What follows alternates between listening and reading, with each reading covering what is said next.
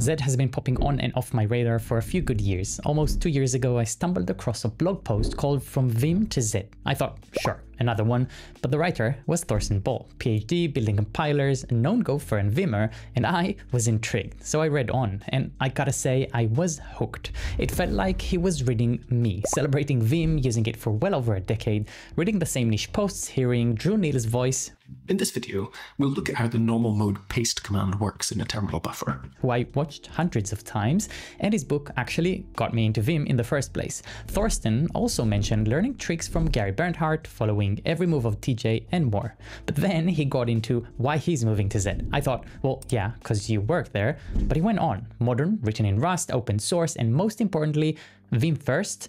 I wanted to try, and so I did. But honestly, couldn't see the appeal. Life happened, I went back to my good old ways, and so did Thorsten, it appears. Shortly after the post went out, I saw a video by someone you probably already know. All right, from Vim to Zed. Around 20 years of using Vim in December. By the way, if you guys don't know Thorsten Ball, Thorsten Ball is awesome. Literally reading the same text and commenting on it. So I reread it with him again. And maybe it was Christmas magic because a week later an email popped in my mailbox with an invitation. I responded with the same story I just told you and asked whether it was relevant. This was the response. So is that good enough to convert a decade of NeoVim to a GUI-based editor? Is it really that fast? What about the extension problem it has? Let's get into it.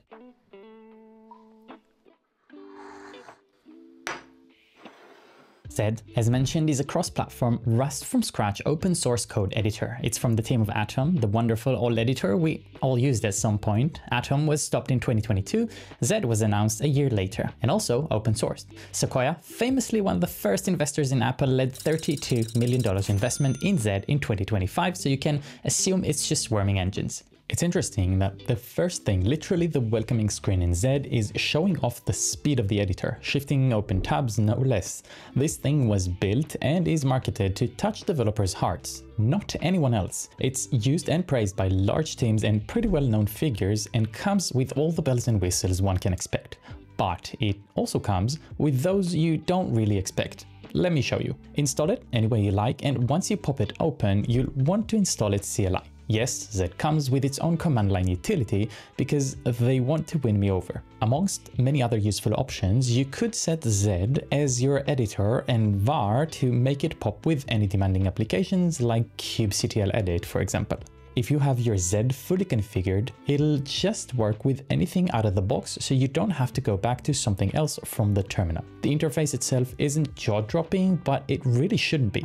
Personally, I like the lean first look, but I have to be the nerd that checks whether it's as fast as they show on the main page first thing. Four tabs, or buffers. Not sure yet about the concepts, but that's all I need. With Vim mode already turned on, don't worry, we'll get there. I can use square bracket and B to travel across the open buffers, and this works flawlessly. But in order to have them loop indefinitely, we'd need the actual shortcut, Command Shift square bracket, and nice. Gotta check that in NeoVim. Sorry, hang on. I'll even pop the exact same four files. We'll add a small normal mapping, and yeah, not bad. Even a tiny bit of a feeling that Zed does this quicker. Hookers, both are great. Moving on. Command J hides your bottom dock. This could be the terminal, a debug console, both of which we'll get into. The next and most important shortcut in the entire app is the command palette. Command Shift P for Mac users, opening up, well, everything in one palette, whether shortcuts, key maps, or commands, it's all there. The settings file is your zconfig that by default sits in your .files config path under z settings JSON, and you can pretty much set anything you want through here. Many other GUI-based IDEs don't have that feature, which is another huge plus if you're coming from these. My Vim mode is already on, together with a Catppuccin theme and a bunch of other options. The defaults for Vim mode are very impressive as someone who tried these on VS Code probably 7 years ago and on JetBrains and other IDEs, Zed are by far the most impressive. As Thorsten mentioned, it's not a 100% Vim alternative, but it's close enough. Square bracket D can go to the next and previous diagnostics, and obviously the document navigation with GG, a uh, Shift G, and other options like that. Text objects also work great. I can visually select around functions or change inside them. You'll also note the ghost text coming from AI, actually their own self-trained model, which I didn't really have to do anything to have. We'll put a pin in that. There's git hints where you can hover over them and get the commit, PR, and timestamp. Not something I haven't seen any of in NeoVim 2, but again, out of the box, fully operational. If there's one thing I absolutely miss at this point is my fuzzy finder. Whether Telescope or FZF Lua, Zed has an open issue around it. But in the meantime, Command P opens a file search box. Not a fuzzy finder, but nevertheless helpful in navigation, much more than the tree on the side panel. Okay, what else should we verify? Macros. Well, let's record adding comment works. What about jump lists? Well, Control O and I both work as well as expected. Honestly, I almost feel at home. Apart from a few small minors, given I didn't even install a single plugin yet, nor did I have to port any special Vim configs, this is pretty wild. So let's talk about these keymaps, shall we? There's a keymap editor in the UI where you can view, search, update, or delete every single configuration. But you know what I'm missing? My beloved JJ or JK, the improved version. Let's see how these are set in Zed as an example. You open the keymap file, pick a context. In this case, the editor and mode should be insert, then add the bindings. This is slightly different than NeoVim, which is understandable. I'll add a JK as well, but what the hell, it's not actually working. Well, it took me some time, including a bunch of Zed restarts, to figure out that Zed respect space is a separator. So JJ, as fast as you may type it, is still a pair of characters following each other, not a simultaneous hit. So adding a space and we're good. Command-Shift-H opens the text search on files, another feature that makes me miss Telescope. For splits, I can bother with the shortcut, but I can just pop the command palette again and ask for it. The funny thing is, trying to navigate between panes, I naturally went to muscle memory from NeoVim using Control W for window management, and a motion, hey JKL, and there we are, moving between panes. Slick. Why don't I try to split it too? Control W and S, boom, splits. C closes it, just as I used to know. I swear I didn't touch a single config and most of it is already doing an amazing job. NeoVim users should feel right at home. Would I be happy porting my keymap configuration like this one from my existing NeoVim setup? Well, first, I didn't have to. Most of it feels like it's already there, but we all love to tinker and rise the setup, of course it will come. So this isn't the most convenient way to do things for someone who's used to NeoVim setup, but it isn't bad. However, I can still call Gemini on my NeoVim config and ask it to build a keymap object ready for Zed from my local configuration files, which it does exceptionally. Honestly, I went through these and they're mostly LazyVim defaults, which are already there. I mean, to the point of hitting colon and exclamation mark and asking for a shell command to run.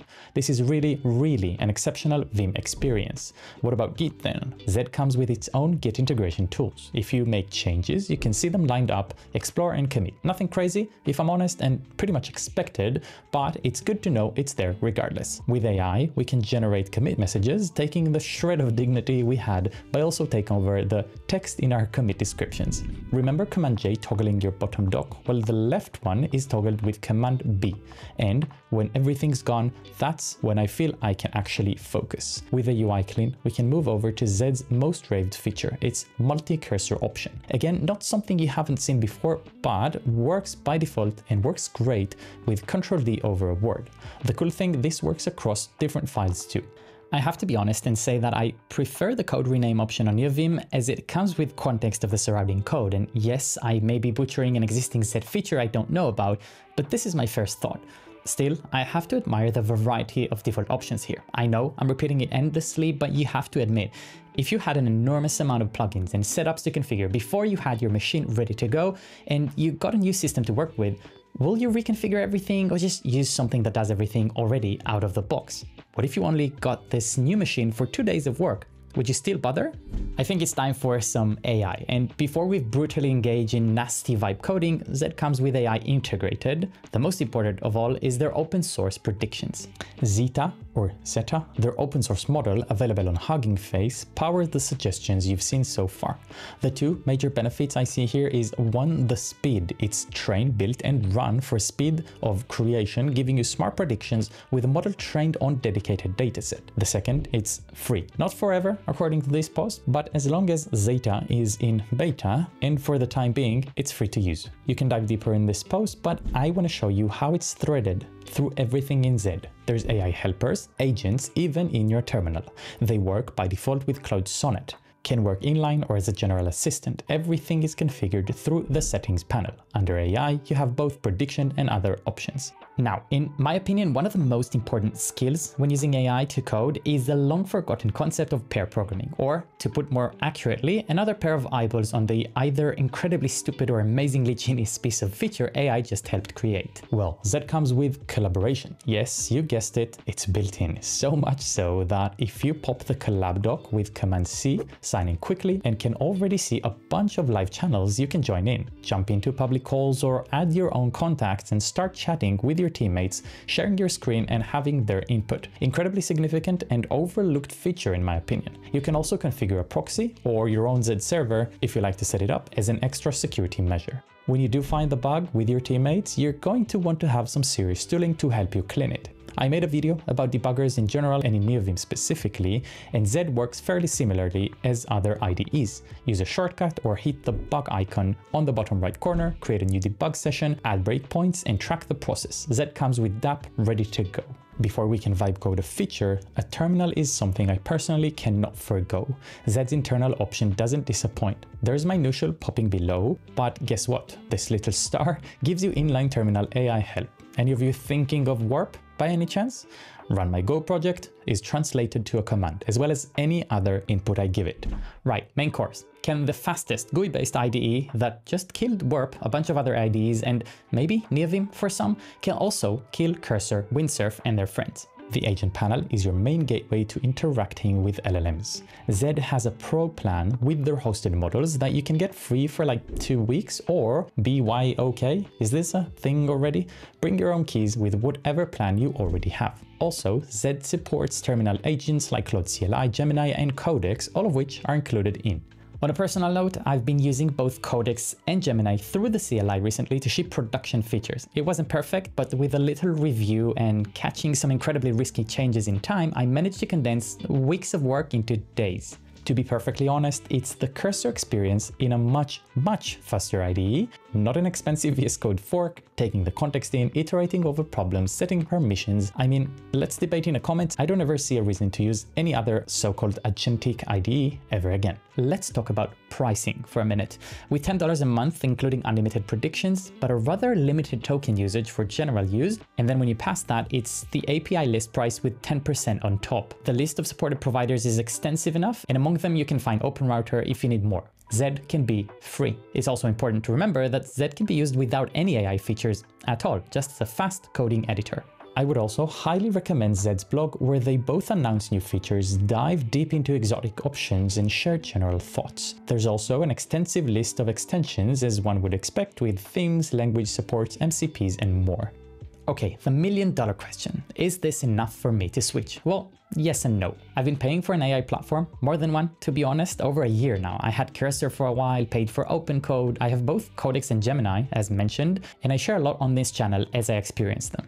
Zed has its drawbacks, it's not NeoVim, nor does it mean to be. My NeoVim isn't going anywhere, but for the agents panel process, the warp-like terminal options, all in a blazing fast package, Vim support, on par with NeoVim, built in with everything I went through in this video, it definitely stays. If you liked it, but you're more of a terminal person, I highly recommend my favorite terminal agent experience so far, OpenCode. Check it out in this video next. You can keep both due to the flexible billing and pay for what you use. Thank you for watching and I'll see you on the next one.